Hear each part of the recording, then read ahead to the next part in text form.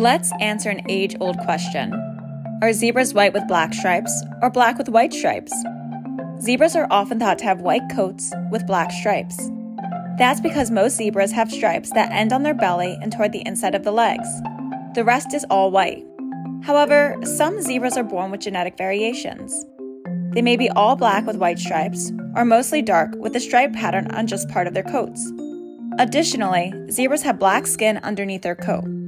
So it depends on how you look at it.